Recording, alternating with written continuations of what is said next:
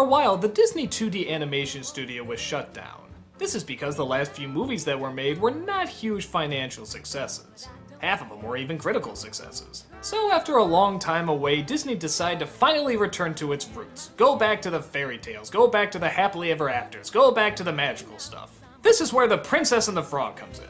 Let me tell you, I was excited to see an animated 2D Disney film on the big screen again. And not just a satire one, I mean a real one. And personally, in my opinion, it didn't disappoint. Okay, story. You got a young woman named Tiana. She has a dream of opening her own restaurant. After her father passes away, I guess some Disney traditions never do truly die, she works her butt off to save as much money as she can. While that's going on, a prince from a faraway land named Prince Naveen comes into town. His parents cut off his finances because he's too much of a party animal, but then he comes across the Shadow Man. He tricks Naveen into having him agree to have his soul be put into a frog, while his assistant would take on the appearance of the prince and also work for the Shadow Man. At a costume party, Naveen confuses Tiana for a princess and asks her to kiss him. She agrees, hoping that his riches will help keep her restaurant open, but seeing how she wasn't a true princess, she gets turned into a frog too. And the rest of the movie is them trying to figure out how to lift the curse and how to stop the evil Shadow Man. Let's look at our characters. Tiana is probably the best female lead since Belle. She's a fast thinker, she's positive, and she's a workaholic. God, never thought you'd see that in a Disney princess, would ya? The prince is also a lot of fun. He's full of himself, but he's also got a lot of innocence to him. Tiana's best friend is fucking hilarious. I haven't seen a Disney character this funny in a long time. Prince Naveen. Prince Naveen of Maldonia is coming to New Orleans. oh, isn't he the bee's knees? Oh, tell her what you did, Big Daddy. Tell her. Every second she is on screen, she just cracks me up. The villain is also a lot of fun. The fact that he's into voodoo allows for a lot of creative visuals and a lot of great possibilities, and they take advantage of them all. And the rest of the side characters are also very memorable. You got Alligator who wants to be a musician, a redneck firefly who thinks he's in love with a star in the sky, and a witch doctor who always has the answer to every question. So, okay, this film sounds about as good as the classic traditional great Disney movies. What could possibly go wrong with it? Well, there's only one problem with the movie, and sadly, it's kind of a big one. The story. It's not that it's bad, it's just a little too complicated.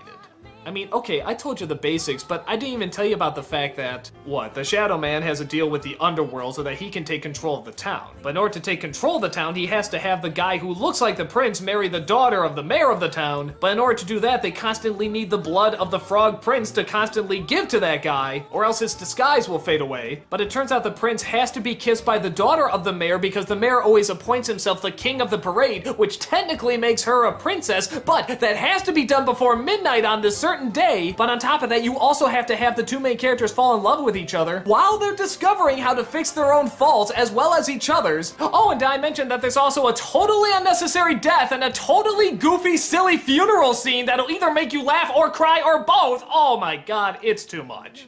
I always said that this should have been called Loophole, the movie, because that's what it always seems like. Every second they're trying to look for a new loophole to get around something. Now, is it a major problem? I guess not, because you're constantly guessing what's gonna happen.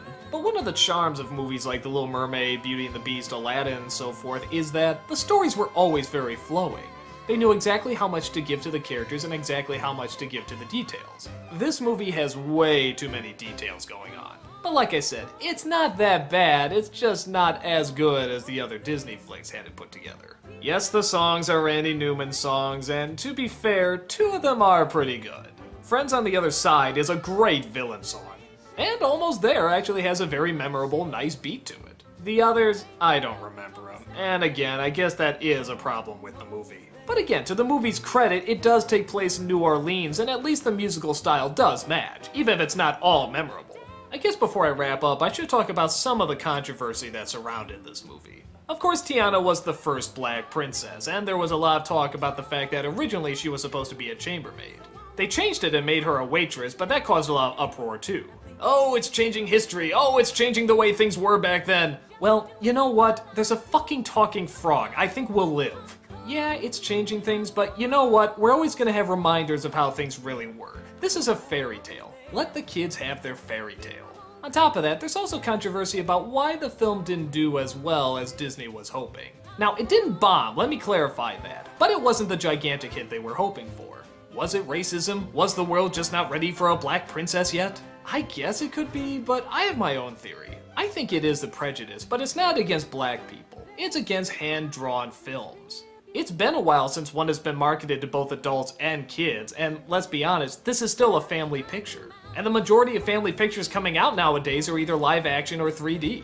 Personally, I think a lot of adults still see hand-drawn films as kid stuff. Now, it could get people in the seats if it was really doing something new like The Little Mermaid, or just did it spectacularly like Beauty and the Beast. And to be fair, even though I like this film, it really didn't.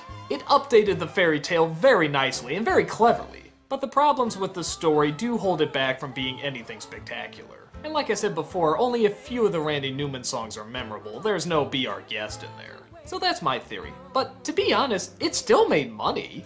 I'd be more concerned if nobody saw it. But you know what? People did. Was it a ton of them? No, but at the same time, a lot of the past Disney 2D animated films didn't have a ton of people looking at them, and nobody screamed racism at that.